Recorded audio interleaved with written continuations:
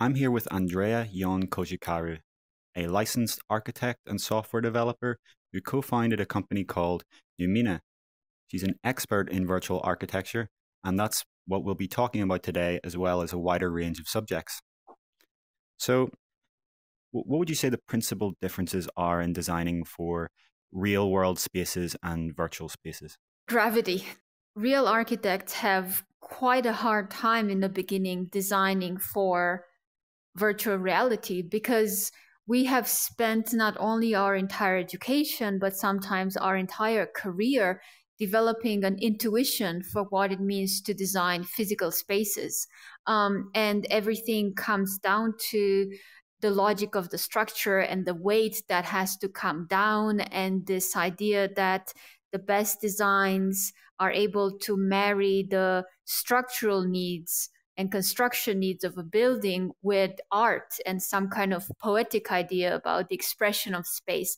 But the two always have to be intertwined. Um, so we spend our entire lives um, understanding what this means and trying to develop a spatial and a design vocabulary to answer this challenge. So when we have to design for the virtual environment, all of a sudden um, we we are faced with something that's quite different actually. There is no gravity um, there is no structure. So what does this what does that mean? What are the constraints of virtual space? Are there really no constraints? Is it is it like you can design anything you want? And if you go through that exercise, you will very quickly discover that when there are no constraints and you can design really anything you want, um, you kind of get stuck very fast, right? Because a design problem or exercise or project should always have some kind of goal and constraints. So the next question then, then comes up is okay, what should the goals be of virtual architecture and what are some of the constraints? So the real world has this constraint of gravity, and when designers come into virtual reality, they're kind of baking in that assumption from the start. How, how do you suggest they start to think about the new environment that virtual spaces allow for, and how how do you suggest that they start to think around the constraints of reality that they bring into virtual spaces? The start point for me is always what is the goal of the virtual space because it has to fulfill some kind of purpose. Um, the way real architecture is functional, I also like to think of virtual architecture as being functional. So, so why do we need it? And um, the first answer here is because we needed to serve certain kind of psychological needs, like space influences our psychology in certain ways. Um, and we also needed to also fulfill certain kind of functions, but those have a very different relationship to people um, and to behavior and to what is going on in that space than in physical architecture.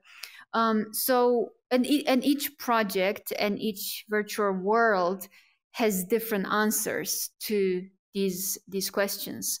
Um, so, I would say what kind of what kind of relationship should should be established between what happens in the virtual world, the people or the avatars in there, and the virtual space. And unfortunately, I see a lot of examples where that relationship is a very passive one. So, architecture, virtual architecture, is used as a backdrop. Um, so, you have the the project managers that come up with the concept of what happens in that virtual world. You have the programmers that kind of put in awesome functionality. And then the the designers or the architects come in and create some kind of beautiful backdrop that just looks nice. They're not part of the conversation about functionality. But if we were to learn something from physical architecture physical architecture has a very clear relationship to the functionality, to what is supposed to happen. Um, the, that space is supposed to accommodate activities, and if it's poorly designed, it actually um, does a disservice. Uh, and you, we can even go one step further, which is if you think of things like the layout of your apartment, it's actually um, encouraging you to live life in a certain kind of way. The relationship between your kitchen and the bedrooms and the hallway influences what you do every day and and and a certain daily kind of um, outline of behaviors. Uh, so so it is quite a big deal. And if you look at the history of architecture you see how we used to have uh, we used to conceptualize of the space of a bedroom in relationship to a hallway in a very different way. Actually 200 years ago there are almost no hallways in architecture. It's actually a modern invention and daily life used to be very different because of that in a building. Um, and my personal goal is to address this topic so that when when designers start to think of about their virtual worlds they see virtual architecture as something that should be part of the conversation of functionality from the very beginning not an afterthought that gets added to make things look pretty. A lot of the public spaces in, in the real world that people tend to frequent are designed by public organizations for public benefit do, do you think there's a kind of conflict in VR in that a lot of these spaces and the most popular announced spaces are designed by large corporations to kind of fulfill their their goals rather than designed around the user?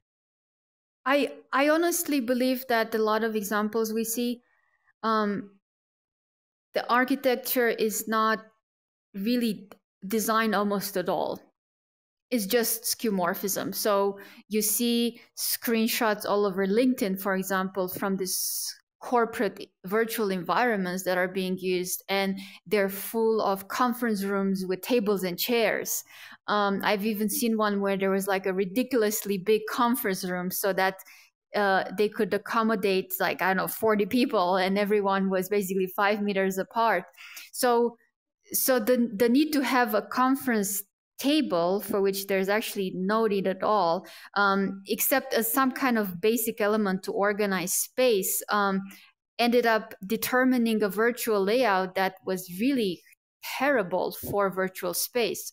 So, so it's just skeuomorphism, and I'm very much looking forward for the designers of these these worlds to do what you just said, which is to think more not so much of the subject as a general participant in this virtual world, but for the virtual subject. Because I feel like there are very important needs between what does a physical subject need in the physical world with a biological body, and what does the subject need when they are in VR with a virtual body which moves and has very different affordances and needs than your biological body. Um, and that means the, the moment you bring that into the design process, the avatar, um, you might find many original answers to the things like the concept of a conference room table or how you organize space um, in a room without a classical skeuomorphist conference room table. Do you think in the near term, as virtual reality is kind of going from this niche enthusiast position into the wider market, there's a kind of short term need for skeuomorphism for familiarity? Or do, do you think that the only way to get to the wide market and kind of show the unique benefits to VR is to start from the position of let's design for these spaces and throw away the familiar ideas that are in people's head about what spaces should look like? I think there's room for all of that. I think there's always going to be a more experimental crowd that's going to cheer the moment they find a virtual world where things are completely wacky. And there's always going to be a crowd that um, wants to to focus on other things in VR and does not want to be challenged by the environment. Um, but to answer your question about skeuomorphism, I use skeuomorphism sometimes, but I try to um, I try to use it strategically. For example, um, in classical video games, you always change the level by going into things like an elevator, right? Because everyone everyone knows, okay, I'm in an elevator so the right thing to do in an elevator is to just wait for a little bit. Um, and that's just a wonderful, clever way to have someone wait for a bit without creating any kind of confusion while you're doing things in the background. So it's actually a clever, it's, it's, it's skeuomorphism because it's an elevator and has no meaning really in VR. It has no actual functionality except on this level of UI and UX. So that kind of skeuomorphism, um, when used strategically, I think it's extremely clever. So I would like to see more of that, um, as opposed to skeuomorphism out of more like intellectual laziness or oh we only have two days left to design this conference room let's just buy in some chairs and tables from like turbosquid and then we're done one of the things that's absent in these virtual spaces as you mentioned earlier is gravity but it strikes me that the other thing that's different is scale. So in the real world we are always at our same scale you know we don't have the ability to become giants or become you know mouse size at any point but in a virtual space, you could see it allowing the avatar to become enormous or become tiny and occupy different spaces that interact with each other at different scales. Is that something you think about? Is that something that you could see being part of the future of VR? Yes, absolutely. And I think of that, and we're even experimenting with some environments um, that play on that. So it's basically the Alice in Wonderland uh, fantasy. And that actually is a concept that requires that we really change the way we think about architecture and environments because normally as you said there is this very static relationship between you in your biological um, shell and architecture um, and it's only in very very rare cases that the actual physical architecture moves or does something. Um, but in VR, the moment the, the scale changes, it introduces a dynamism, dynam- dynamism that is absolutely fascinating. And and the question is, um, even, even such a thing of, do you shrink or does the building get bigger, right? And the answer is kind of irrelevant. It's like kind of can be both or take your pick. Um, but then what how do we define this new relationship? Because it's a new relationship between you and the enclosure and the environment um, and it put it, it can put you into unexpected situations right? So all of a sudden i am tiny so i wanted to go over there and i thought it would take me like two teleport jumps and now i'm discovered it might take me 10 minutes if i have no other means of of navigating this space. Um, so all of a sudden, it's kind of like an unexpected situation that the environment puts you in, not the story, just the environment that is now dynamic. Um, and that is just quite wonderful. And that's exactly the kind of concepts that opens up um, the possibility for what we would like to call virtual architecture as a distinct discipline as an, and as a distinct line of thinking from traditional architectural design. In the far future, when these are equivalent in terms of the scale and the amount of people in the economy that they serve, do you see university education for these things as being starting on the same path and diverging as choice, or do you see these as being completely different educational sectors?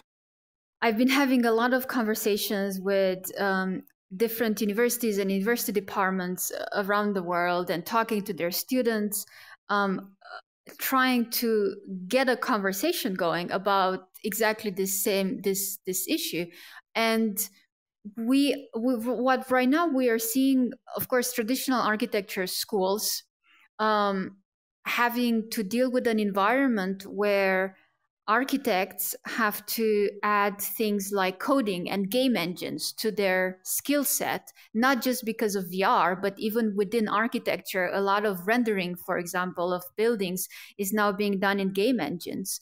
Um, and as soon as architects have that as a skill that they acquire in school, all of, all of a sudden it opens up the possibility for them to also get into VR or start to combine them.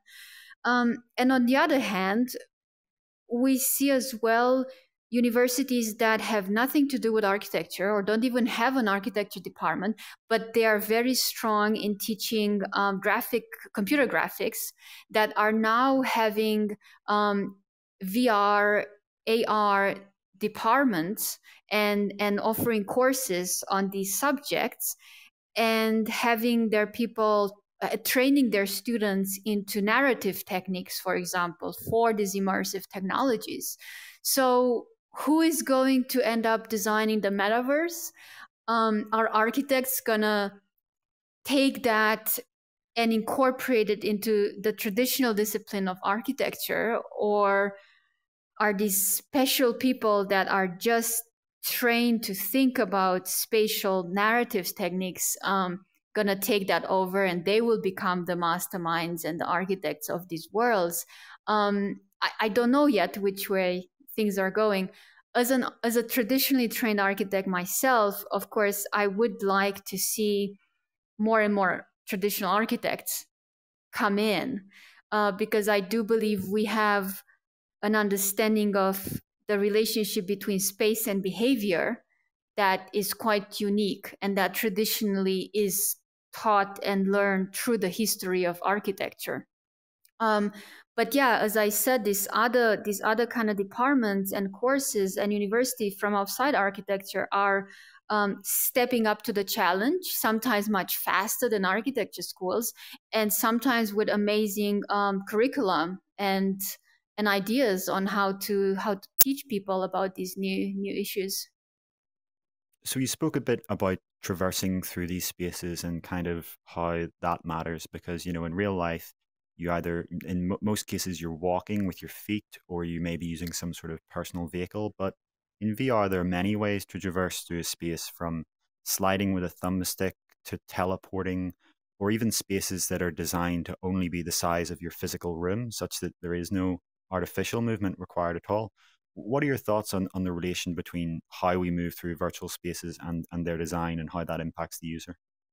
I find all the current means of locomotion that we have in, in VR very unsatisfying.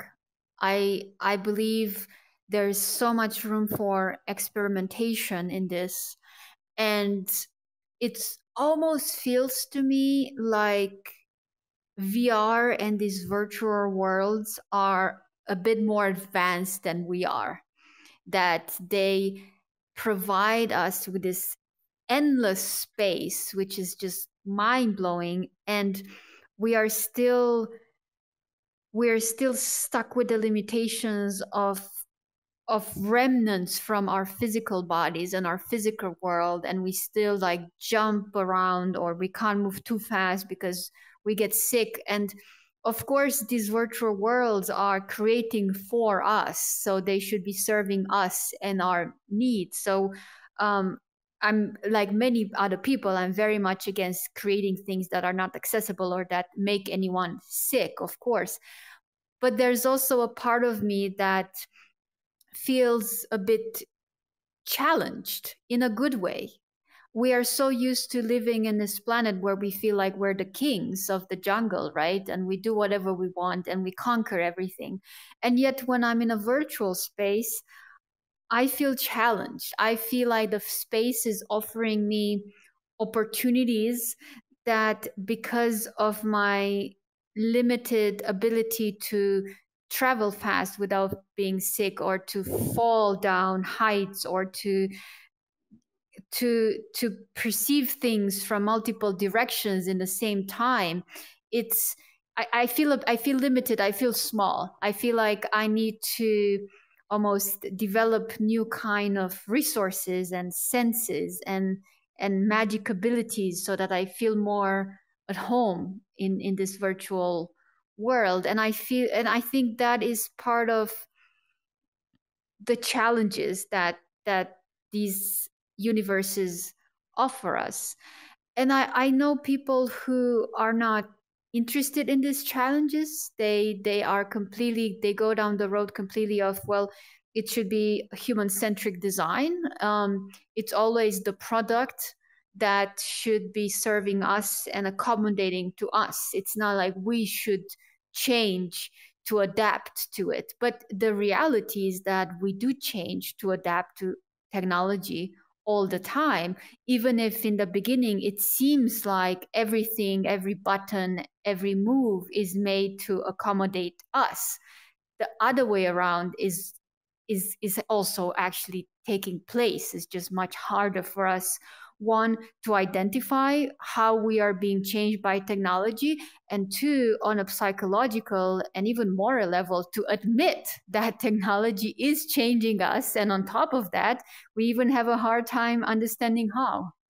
Are there any cultures from the past, as far past as it may be, that their architecture you think has useful lessons that can be brought into virtual spaces, or do you think there's there's nothing in the history of physical architecture that is sort of more relevant? Oh, very interesting. Um, I think the answer is yes, and I've been reading some articles that go way, way, way back and try to analyze the spatial production of things like certain kind of tribes or or people that um, used to live a long time ago. So I've even been looking at architecture from an archaeological perspective. And you have these um, studies that try to understand based on archaeological remains or places like where where we discovered ashes, so we knew where they were making fire, and we've discovered a footprint or of some ancient buildings. And the studies are trying to reinterpret the organization of daily life and spatial behavior in those cultures um, according to the these these layouts, these architectural layouts. And the truth is that other cultures in other times um, organize their life differently and organize their societies differently. Um, and that was seen in the space and even promoted through space. And I very much would like to see things like social VR worlds start to introduce that element, start to use different concepts for the spatial layouts um, that promote different way in which members of these virtual societies, let's call them that way, start to relate to each other, start to organize themselves in in in ways that we have we are not seeing in the physical world. So it's for me anthropologically also quite quite an interesting thing because right now I go into places like VR chat and I still see very traditional rooms and very traditional hallways and people replicating a, a, the organization of their community their virtual community is trying very hard to replicate that of physical communities um, but I feel like there's there's something that could go beyond that, and we could see also through different approach through spatial design and virtual architecture, we could be start to witness the emergence of different social behaviors and ways of organizing communities. What strikes me is that if you look at the avatar design in VR chat, these are avatars that in many cases don't mirror anything to do with the real world and you know they, they have these kind of unique ideas of how to represent themselves but yet as you say when they come to representing the space they go back to these kind of traditional staples why do you think that is it's much easier to recognize things and needs and changes when it comes to to yourself. We also live in a culture that encourage that quite a lot. Of course, it depends on kind of the kind of bubble that you live in. But um, i see i see a lot of um, i see a lot of change in that direction. So there's a lot of discussion about allowing people from all walks of life to freely express themselves in all ways not just in terms of freedom of speech but also in terms of what they look like and how they identify in terms of the gender. So there's there's a lot of public conversation um, going on in these directions, but there is not that much public conversation that happen around these same issues but when it comes to space it's a much much more difficult issue to tackle and to to address. So what would that conversation look like? Well i don't know. It would be someone saying things like i feel like the layout of my apartment is negatively impacting my life now, for some reason, we don't really hear that many people making that statement, but probably it's a, it, it's something a lot of people should be making because the layout of their apartment, unless they live in some kind of sprawling mansion, is probably negatively impacting their life. And their reason, their reasons maybe why it was poorly designed, maybe their economic reasons as well. But um, we're just not having that discussion as often as we should and it's a difficult discussion to have. But if we move things now into the virtual space all of a sudden it's maybe a little bit easier to talk about that because it's also a little bit easier to imagine and suggest changes to that. If a friend of mine tells me the way the size of my kitchen is negatively impacting my life, then um, I can't do that much to change it unless they allow me to design a new house for them. But if someone says my virtual environment um, doesn't quite fit me, I, I, have this amazing new avatar that I designed for myself and um, it feels so liberating. But somehow, this virtual room that I'm in, does not equal that feeling like it i feel like it should be something more um, then i can definitely help with that. Uh, and we can explore new forms of expression for the room just the way they explore that for their own avatar. So so part of the reason is is it's hard to get into this conversation and this conversation about space and how it impacts our life is not as central in our culture right now could part of the problem be that so many people now are renting for perpetuality? They don't have ownership of the spaces that they're in in the real world, whereas they do have ownership over their identity and themselves and their bodies. Absolutely, yes. So if you are fortunate to be part of a financial elite, right, then you absolutely hire the best architects you can find pay them a lot of money and spend years designing your mansions together with them. And these people absolutely think of their houses as as a manifestation of their personal style and identity right? But this is something such a small percent of the population can afford to do. Um, and i would without falling into the dystopia of proposing that um, poor people can have mansions in VR, which I have heard people uh, suggest, and I think that is absolutely sad and dystopian. Um, I would rather like to think of VR as a first step towards at least practicing and acknowledging that space is as much as your avatar part of your personal style and personal expression and start as a first step start to play with that in the virtual world.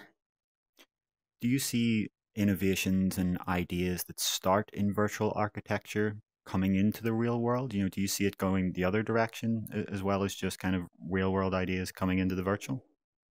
This is something that i talk a lot about when I am a guest in podcast and events um, that belong to the AEC community that stands for architecture, engineering, and construction. So that world that is not really interested in in virtual space per se, but um, but in how it intersects, how it could potentially intersect with actual architecture and actual construction. And there is one thing that for me eh, that has that is becoming more and more obvious um, to me, which is the following: when you design things in VR as an architect, of course, with the intention of at some point building that space, right? So you can't design floating things, um, but you use virtual space as a um, as a way of prototyping and sketching out things the big advantage of that is that you do it at one to one scale, which for an architect is something uh, absolutely unbelievable. I mean, we were never, ever, ever able before to to plan and design at one to one scale. We always did it through cardboard models or sketches and little drawings. So they were always a scale down abstraction of what was in our minds. So now my theory is that when we design at one to one scale, we actually start to make decisions that we would have never made in these hand drawings or in these little models.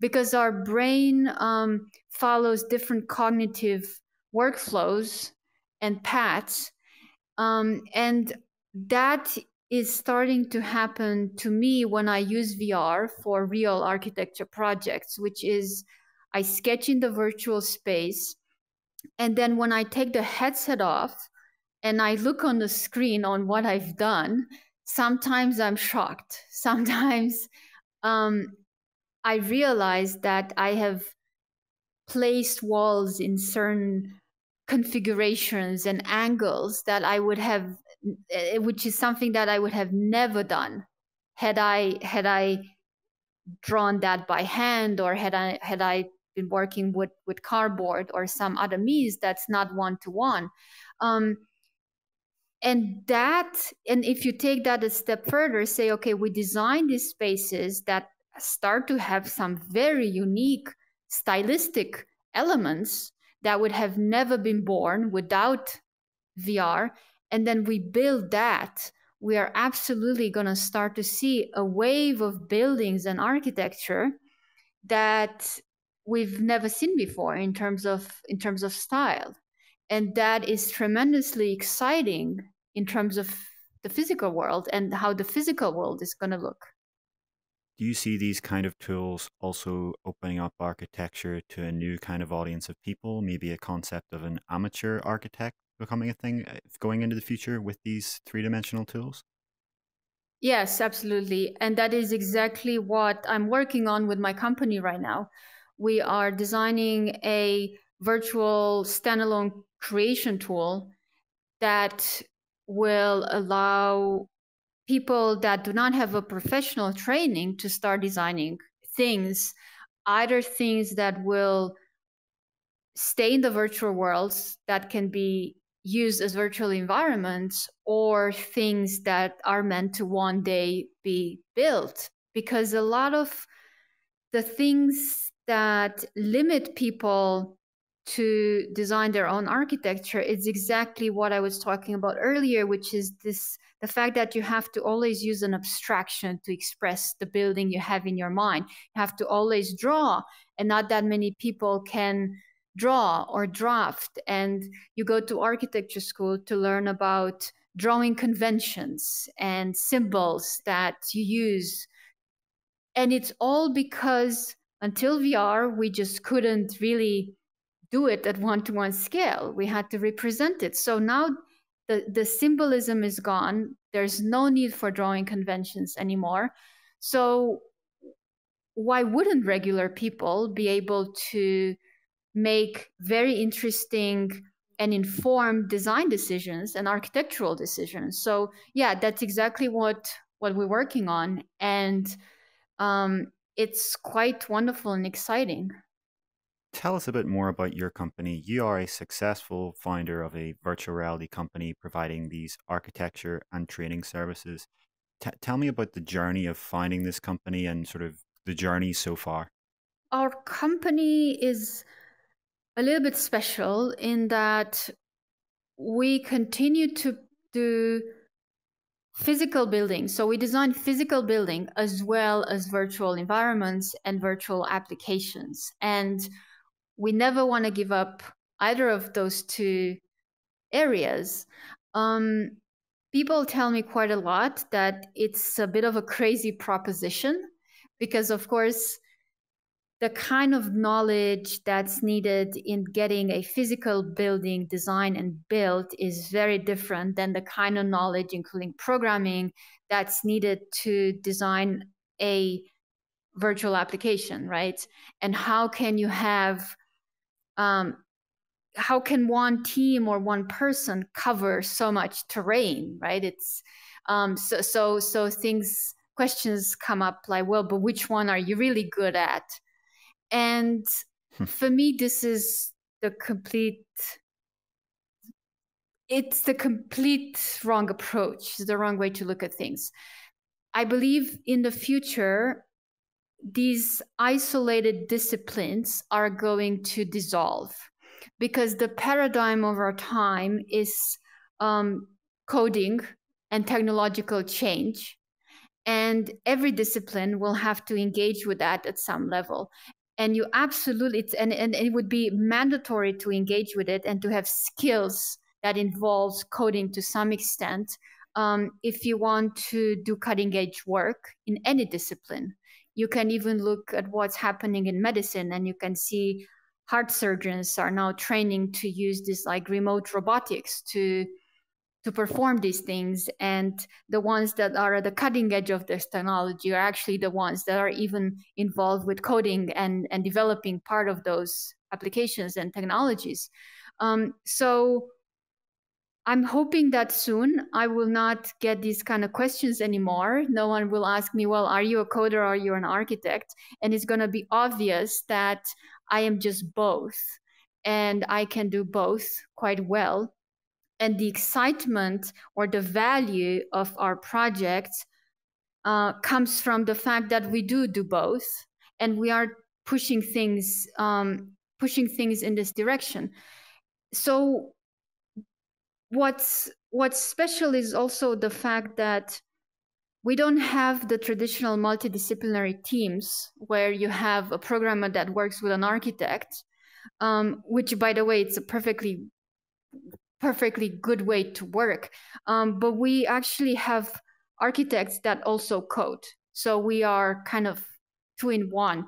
And we find that the kind of conversations that we get into are just quite different and quite exciting than than the kind of conversations where you have to have the programmer explain something to the designer and the designer explain something to the programmer and things get lost in translation although towards the end of course some amazing product can still um, can still happen so so we we have this these workflows that can be quite interesting. For example, I could be working for a few weeks on a on a physical building, and in my head, everything that I see and do, including in VR, has to function under the assumption that this is going to one day be a real wall. And then I will I would switch to working for a few weeks on a virtual reality environment, and then that wall like I touch it, I, I touch it like this, and I say, okay, this will always be a virtual wall. So I have to really switch my mindset and design this and treat this in a very, very different way. And I have come to quite enjoy this this challenge and this change in perspective and i feel like it's what's again what's giving us and the work that we produce a certain edge I love this idea of kind of multidisciplinary approach on an individual level rather than just a corporate level. Do you think that as we go into the future and sort of education tools become better and the wealth of human knowledge becomes easier for any person to digest, you know, you use labels like designer, programmer, architect. Do you think this idea of people having a label like that will go away and kind of people may just be determined by the nature of their work rather than by the approach that they take to it? Yes. I think I don't see a purpose in the future for these labels anymore. They are abs- obsolete for me. And I also don't see any immediate need to find new labels. I think there's a lot more freedom in not having this this label or in coming up with new labels or or in defining people and activities using a different kind of terminology. Um, and this also ties into your earlier question about education. I think part of the reason why education is in such a big crisis right now and they entered this crisis even before um, the pandemic is because they the, their whole structure is predicated on this idea of these labels and these departments. And when they do push collaborative projects, they're all based on this concept of collaboration and of being interdisciplinary in the team. But that's not good enough anymore. We need to train people across this discipline in a true kind of fashion. We need to dissolve these individual departments and we need to foster multiple directions within the same person. Otherwise, we will always really struggle to to come up with answers um, to the complexity of our times. So a while ago, you made some very interesting comments about storytelling in, in VR, and you know this it's really struck me because I, I've never seen this kind of vocalized before. But but I think you really did make a great point in that a lot of the storytelling in traditional mediums, the setting is much is as much of the storytelling as the narrative and the progression itself, because you know you aren't by default immersed into an environment, whereas in VR you start fully immersed in this environment and you know as you said what's next? I i'm quite an avid reader and since i became so involved with vr i've started to process everything that i read in terms of both form and content from the perspective of vr so I could be reading something like, I don't know, a novel about some love story or I don't know what, something from the 19th century. And in the back of my mind, I'm always trying to find parallels between that and and VR. So how would how would how, how well would that form of the the form that that particular writer is using to create this narrative and to to to involve me emotionally um, how well would that adapt to vr and if you take almost any novel you will immediately see that it would just not adapt very well at all. Some of the authors that i admired the most um, authors like marcel proust for example spends up to 30 pages describing um, the sparkling water of a forest stream or the beauty of the sun rays coming through in this beautiful raking light um, through the leaves of an oak tree. And it involves you emotionally because they add so much detail to that and they take that approach with a lot of things but in vr well you can just put a player under an oak tree with a raking light and they will get it. And if it's beautifully rendered they might even feel a bit of emotion within a millisecond right?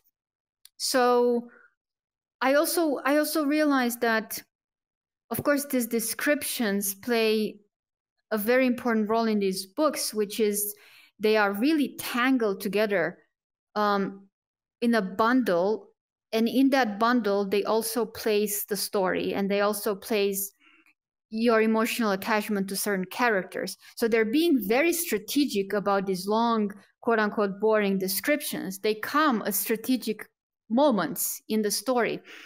So sometimes you need them and they they add up to some point where you feel quite a lot of like you feel like you experience the sublime. You experience or, or dramatic some dramatic feeling if someone something just happened to someone but in that time you're also standing on the wooden floor or some of some kind of hut or you are on a cliff.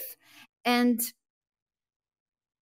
I'm, I was wondering how could VR put you in that position without all this other stuff? And in 90% of the cases, I found that this other stuff it's not really is not really needed. You can just put the person there and they will just experience it Um, and you can be clever about what you show them. So if you need characters, you can show things like a child is running by and you've just seen that child do something else. So that will immediately start some associations in your mind.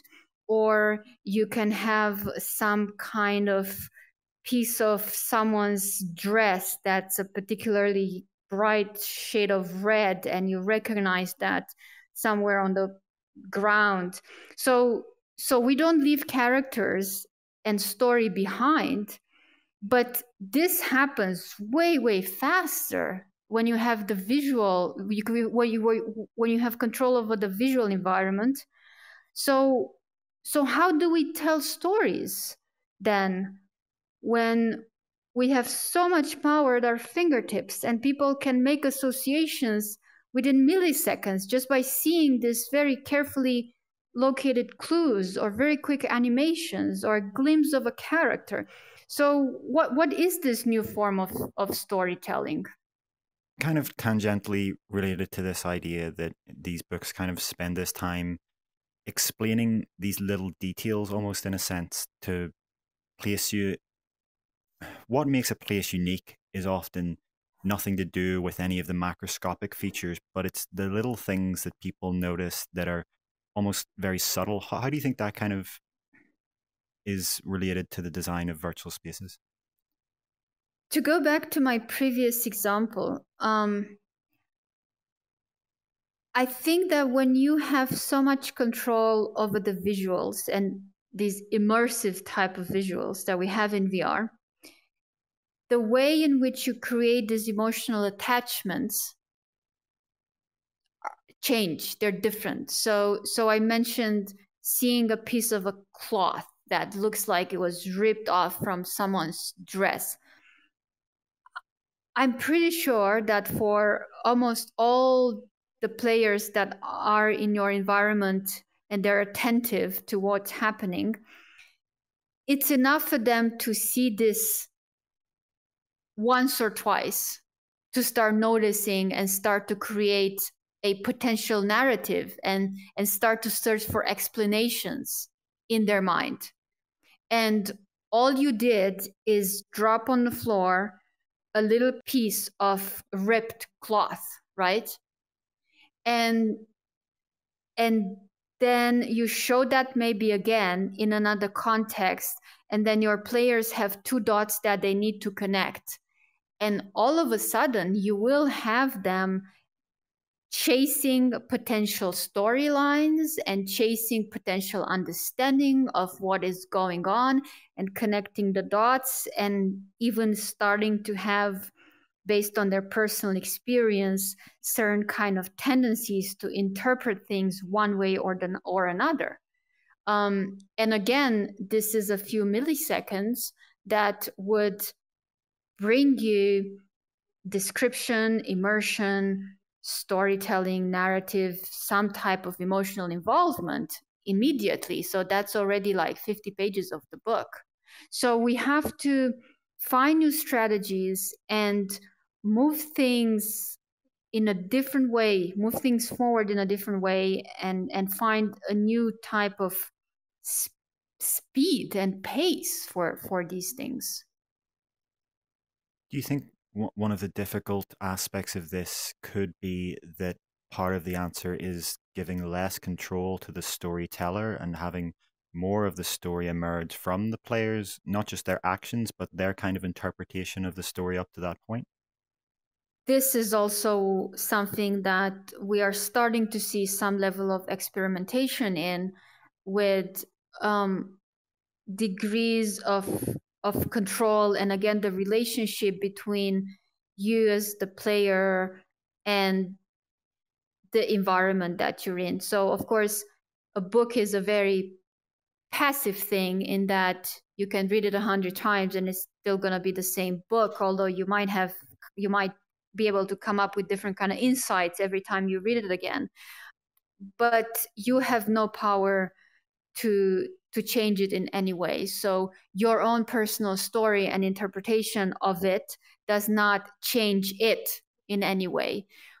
But now we absolutely have the potential to design experiences that allow us to not well to change it in some way so i don't know what what form that is exactly but for me that's a bit of the holy grail where i am in a world that can that, that makes me believe that my actions and my particular story and who i am effects change into that world because that is what that is the relationship that we have also with real life as well. I mean as individuals and as agents we have unbelievable power right in the physical world. You can go and destroy something. You can go and say something to someone that might completely change their day or change their year or change the next 10 years of their lives in either positive or negative sense.